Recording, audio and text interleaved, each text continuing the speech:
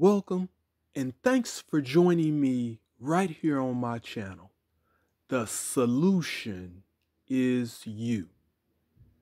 If you are just stopping by and enjoy the content, then make sure you hit that like button, subscribe to my channel.